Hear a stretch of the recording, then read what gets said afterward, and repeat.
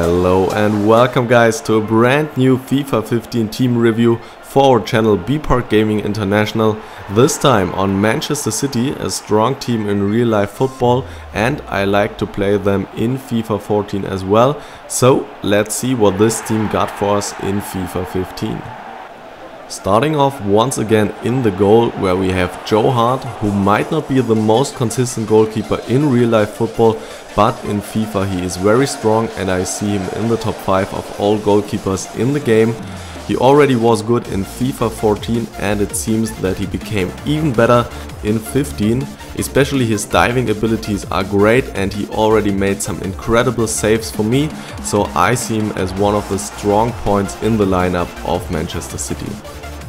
Moving on to the defense where our first center back of course is Vincent Kompany. He's just a very good defender, he's tall, he's strong, he has amazing standing and slide tackles, he can win headers and he has good passing as well, so you just feel very safe when you play him. As your second center back you could use Demichelis, but in my opinion he's a little bit too slow, so I prefer to play with Richards. I know that he's a right back normally and he's not the tallest defender, but he has amazing jumping and heading abilities. He's very strong and he has good tacklings and of course he's fast, which is very important as well. So I really like to use him as my second center back and together with Kompany you have a very strong combination. For your left back and right back positions you have lots of options and it's more a thing of personal preference because Clichy, Kolarov, Sagna and Zabaleta are all strong defenders. I personally like to play Kolarov as my left back because he has strong long shots which can be useful sometimes and I play Sagna as my right back. For your defensive midfield you have two very good players with the Toure and Fernandinho Toure in my opinion is one of the best central midfielders in the game.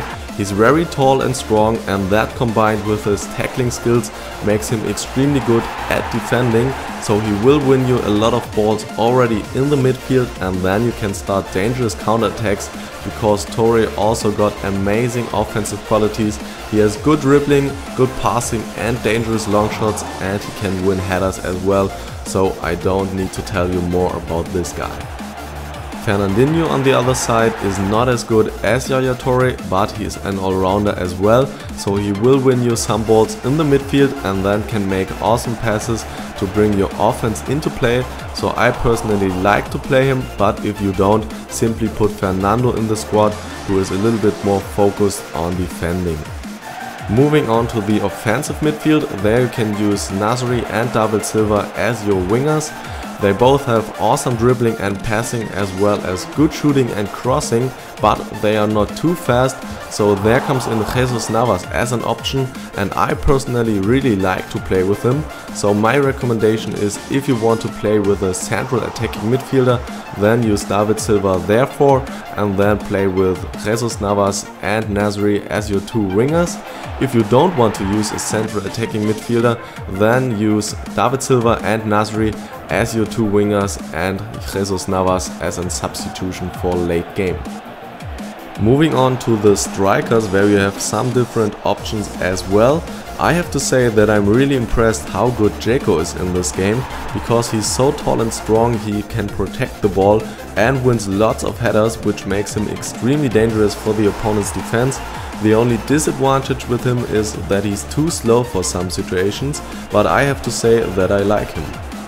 Then you can use Aguero of course, who in my opinion you have to play because he's extremely fast, his dribbling skills are amazing and he's ice cold when it comes to finishing.